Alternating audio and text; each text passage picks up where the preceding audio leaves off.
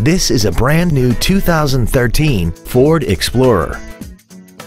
This SUV has an automatic transmission and a 3.5-liter V6. Its top features include traction control and stability control systems, XM satellite radio, big 18-inch wheels, roof rails, and a tire pressure monitoring system. The following features are also included. Dual power seats, air conditioning, cruise control, a six-speaker audio system, leather and alloy steering wheel trim, a four-wheel independent suspension, a passenger side vanity mirror, dusk sensing headlights, a split folding rear seat, and a rear spoiler. Please call us today for more information on this great vehicle.